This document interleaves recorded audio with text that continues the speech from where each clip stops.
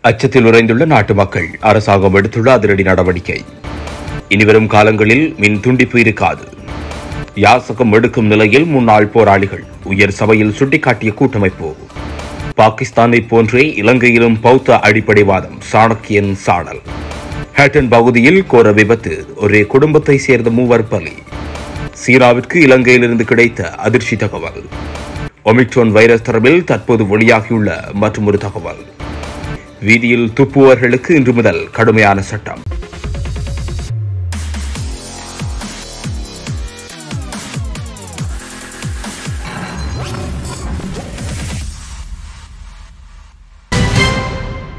அண்மை காலமாக நாடளாவிய ரீதியில் சமையல் எரிவாயு வெடிப்பு சம்பவம் குறித்து பொதுமக்கள் மத்தியில் அச்சம் ஏற்பட்டுள்ளது. இந்த நிலையில் குறைத்த எரிவாயு சிலிண்டர்களை விநியோகம் செய்ய இரண்டு நிறுவனங்களுக்கு எதிராக வழக்கு தாக்கல் செய்யப்படவுள்ளதாக ராஜாங்க அமைச்சர் லசந்த அலக்கியவண்ண தெரிவித்துள்ளார். அமைச்சரவை தீர்மானங்களை அறிவிக்கும் ஊடக சந்திப்பில் கலந்து கொண்ட அவர் இந்த விடயத்தினை குறிப்பிட்டார். பதினெட்டு லிட்டர் என்று குறிப்பிட்டு பன்னிரண்டு லிட்டரை சந்தைக்கு விநியோகித்து நுகர்வோரை அந்த நிறுவனம் தவறாக வழிநடத்தியிருந்தது இது தொடர்பில் தற்போது குறித்த நடவடிக்கை மேற்கொள்ளவிருப்பதாகவும் அவர் இதன்போது குறிப்பிட்டுள்ளார்.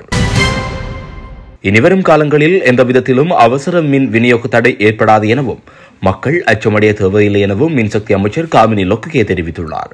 கொழும்பில் இன்று நடைபெற்ற செய்தியாளர் சந்திப்பொன்றில் அமைச்சர் இந்த விடயத்தினை கூறியுள்ளார். இலங்கை மின்சார சபையின் தொழிற்சங்கங்களுடன் நடத்திய பேச்சுவார்த்தை வெற்றியடைந்துள்ள நிலையில் மீண்டும் தொழிற்சங்க நடவடிக்கைகளில் ஈடுபடுவதில்லை என அவர்கள் உறுதியளித்துள்ளனர். புனர்வாழ்வளிக்கப்பட்ட முன்னாள் போராளிகளுக்கு உரிய வசதிகளை அரசு செய்து கொடுக்கவில்லை என தமிழ் தேசிய கூட்டமைப்பின் நாடாளுமன்ற உறுப்பினர் செல்வம் அடைக்கலநாதன் சுட்டிக்காட்டியுள்ளார். இதன் காரணமாக பலரும் கையேந்தி பிச்சை எடுக்க வேண்டிய அவல நிலை அவர்களுக்கு ஏற்பட்டுள்ளதாகவும் அவர் கூறியுள்ளார். நாடாளுமன்றில் உரையாற்றிய அவர் இந்த விடயத்தினை தெரிவித்துள்ளார். புனர்வாழ்வளிக்கப்பட்ட முன்னாள் போராளிகளுக்கு சிறு கைத்தொழில் அல்லது வங்கிக் கடன் ஊடாக தொழில் வாய்ப்பு வழங்கப்படும் என உறுதியளிக்கப்பட்டது. அந்த உறுதிமொழி நிறைவேற்றப்படவில்லை என்றும் செல்வம் அடைக்கலநாதன் இதன்போது அரசாங்கம் மீது குற்றம் சுமத்தியுள்ளார். இலங்கையிலும் பௌத்த அடிப்படைவாத செயற்பாடுகள் மேற்கொள்ளப்படுவதாக தமிழ் தேசிய கூட்டமைப்பின் நாடாளுமன்ற உறுப்பினர் ராசமாணிக்கம் சாணக்கியன் தெரிவித்துள்ளார். கலகொடாத்தே ஞானசார தேரரின் செயற்பாடுகளை பார்க்கும்போது இந்த நிலைமையை காண முடிகிறது என்றும் அவர் குறிப்பிட்டுள்ளார். பாகிஸ்தானில் இலங்கையர் ஒருவர் கொல்லப்பட்டமைக்கு இலங்கையர்கள் பலரும் அதிருப்தியை வெளியிட்டு வருகின்றனர். இது கவலைக்குரிய விடயம். எனினும் இலங்கையில் தமிழர்களுக்கு எதிராக இதுபோன்ற சம்பவங்கள் இடம்பெறுகின்றன என்று அவர் இன்று நாடாளுமன்றில் கூறியபோது கிரிக்கெட்ட அமைச்சர் விமல் வீரவம்ச பாகிஸ்தானில் இடம்பெற்ற சம்பவம் அடிப்படைவாதத்தின் அடிப்படையில் இடம்பெற்றது என குறிப்பிட்டார். எனவே அந்த சம்பவத்தையும் இலங்கையின் அரசியல் ரீதியாக இடம்பெறும் சம்பவங்களையும் சமனாக கருதக்கூடாது என்று அவர் தெரிவித்துள்ளார். ஹெட்டன் ரொசல்ல பகுதியில் இடம்பெற்ற விபத்தில் ஒரே குடும்பத்தைச் சேர்ந்த மூவர் உயிரிழந்துள்ளதாக போலீசார் தெரிவித்துள்ளனர். தாய் தந்தை மற்றும் அவர்களின் பிள்ளை ஒருவரை இவ்வாறு உயிரிழந்துள்ளதாக தெரிவிக்கப்பட்டுள்ளது. ஹட்டன் ரொசல்ல ரயில்வே நிலையத்திற்கு அருகில் ரயிலில் மோதுண்டு இந்த விபத்து ஏற்பட்டுள்ளதாக தெரிவிக்கப்பட்டுள்ளது. சடலங்கள் மீட்கப்பட்டு நாவலப்பட்டி வைத்தியசாலைக்கு அனுப்பி வைக்கப்பட்டுள்ளதாக எமது பிராந்திய செய்தியாளர் பிரசாந்த் தெரிவித்தார். சம்பவம் தொடர்பில் போலீசார் விசாரணைகளை முன்னெடுத்துள்ளனர். சீனவுரத்தை ஏற்றிய கப்பல் இலங்கை கடற்பரப்பிலிருந்து வெளியேறியுள்ளதாக விவசாய அமைச்சர் மஹிந்தானந்த அழுத்கமகே மேன்முறையீட்டு நீதிமன்றத்திற்கு அறிவித்துள்ளார். இலங்கையில் வணிக அனுமதி பத்திரத்தை பெற்றுக்கொள்ளாமையினாலேயே சீன உரத்தை ஏற்றிய கப்பல் இலங்கை கடற்பரப்பிலிருந்து வெளியேறியுள்ளதாக அமைச்சர் தெரிவித்துள்ளார். இலங்கை உர நிறுவனம் சீன உர நிறுவனத்திற்கு மின்னஞ்சல் ஊடாக இது குறித்து அறிவித்துள்ளதாகவும் அவர் தெரிவித்துள்ளார். சீன ஒரு நிறுவனத்திற்கு அநீதி இழைக்கப்பட்டுள்ளதாக சீன தூதர் கடிதம் ஒன்றினூடாக தமக்கு அறிவித்துள்ளதாகவும் அவர் இதன்போது தெரிவித்துள்ளார். ஒமிக்ரோன் தடுப்பு நடவடிக்கையாக பொதுமக்களுக்கு கொரோனா தடுப்பூசி போடும் பணிகளை உலக நாடுகள் முடக்கிவிட்டுள்ளன இந்த புதிய வகை கொரோனா தற்போது உலகின் மிகப்பெரிய அச்சுறுத்தலாக மாறியுள்ளது. அமெரிக்கா சிங்கப்பூர் மலேசியா உள்ளிட்ட இருபத்தி ஐந்துக்கும் மேற்பட்ட நாடுகளில் பரவியுள்ளது.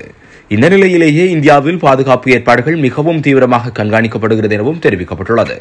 சம்பவம் தொடர்பில் மேலும் தெரிய வருகையில் தென்னாப்பிரிக்காவில் கண்டறியப்பட்ட ஒமிக்ரோன் வைரஸ் உலக நாடுகளுக்கு மிகப்பெரிய அச்சுறுத்தலை ஏற்படுத்தியுள்ளது.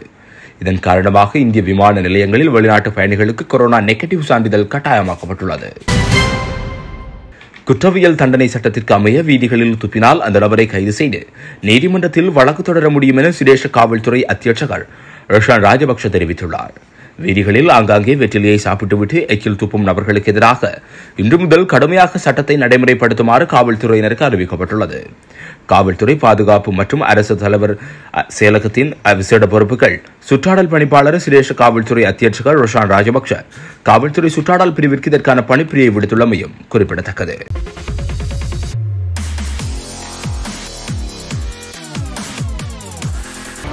அச்சத்தில் உறைந்துள்ள நாட்டு மக்கள் அரசாங்கம் எடுத்துள்ள அதிரடி நடவடிக்கை. இனிவரும் காலங்களில் மின் துண்டிப்பு இருக்காது. யாசகம் எடுக்கும் நிலையில் முன்னாள் போராளிகள் உயர் சபையில் சுட்டிக்காட்டிய கூட்டமைப்பு. பாகிஸ்தானை போன்றே இலங்கையிலும் பௌத்த அடிப்படைவாதம் சாணக்கியன் சாடல் ஹேட்டன் பகுதியில் கோர விபத்து ஒரே குடும்பத்தை சேர்ந்த மூவர் பலி. சீனாவிற்கு இலங்கையிலிருந்து கிடைத்த அதிர்ச்சி தகவல். ஒமிக்ரோன் வைரஸ் தொடர்பில் தற்போது வெளியாகியுள்ள மற்றொரு தகவல். வீதியில் துப்புவர்களுக்கு இன்று முதல் கடுமையான சட்டம்.